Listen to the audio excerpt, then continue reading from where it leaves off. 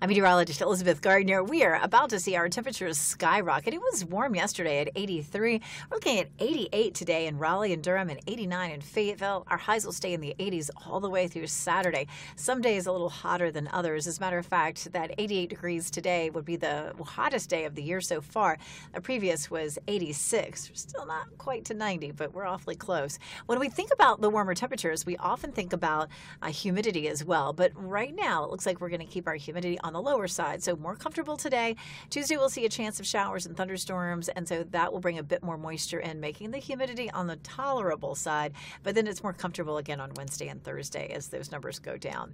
Our normal high is 72, so we're way above normal, but still no records. Records are in the low to mid 90s this time of year. 88 today, 85 Tuesday, 81 Wednesday, and then low to mid 80s again Thursday and Friday.